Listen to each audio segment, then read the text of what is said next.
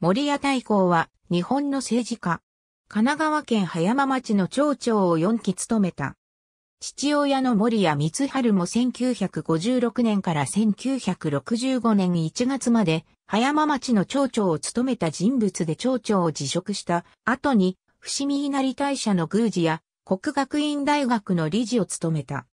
国学院大学生経学部卒業、同大学新東学専攻科卒業。鶴岡八幡宮での総務部長や森戸大明神の宮司を経て、1981年に葉山町の教育委員会委員に就任、1988年より同委員長となった。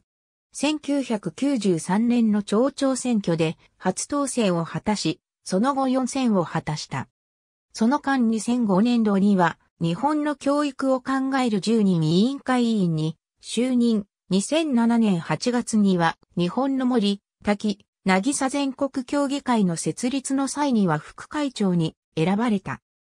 その後、同年11月15日の神奈川新聞の報道で関係した政治団体が選挙区内にある任意団体への寄付という公職選挙法で禁じられた行為を行っていたことが判明し、その後、同年12月23日に町長を辞職した。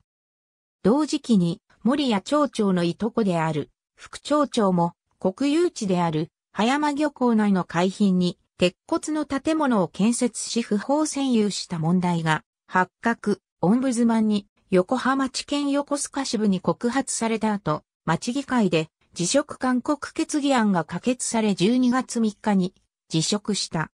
このため2008年1月に森英二が町長に就任するまで葉山町では、町長と副町長が不在という異例の事態に陥った。ありがとうございます。